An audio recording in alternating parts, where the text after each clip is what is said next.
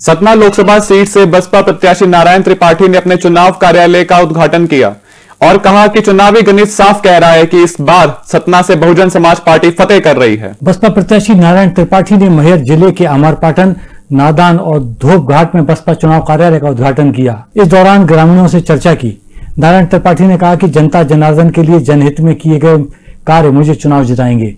चुनावी अंक गणित के आंकड़े बता रहे हैं कि चुनाव में मैं ही जीतूँगा उन्होंने कहा कि बहन मायावती की सेना जिस मुस्तौदी के साथ गांव-गांव में पूरी ताकत के साथ जुटी हुई है और जिस तरह के समीकरण वर्तमान में निर्मित हो रहे हैं, ये समीकरण बताने लगे हैं कि भारी बहुमत के साथ बहुजन समाज पार्टी सतना संसदीय क्षेत्र को फतेह कर रही है। यहाँ का जोश उत्साह देख लीजिए, मुद्दा विहीन भारतीय जनता पार्टी के प्रतिनिधि, जो न कोई जवाब दे सकते चार पंचवर्षीय में काम क्या किए, आज तक बता नहीं सकते तो लोग उब चुके हैं, न कोई भाजपा, न कोई कांग्रेस नारायण त्रिपाठी के कर्मों के आधार पर ये सतना लोकसभा का एक एक मतदाता वोट देना चाहता है। नारायण त्रिपाठी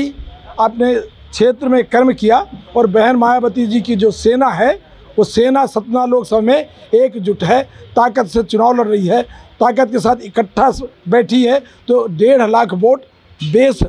वोट लेके चल रहे हैं तो वोट का अंक गणित लगा लीजिएगा, अपने आप आपको समझ में आ जाएगा कि सतना लोकसभा बहुजन समाज पार्टी चुनाव जीत है।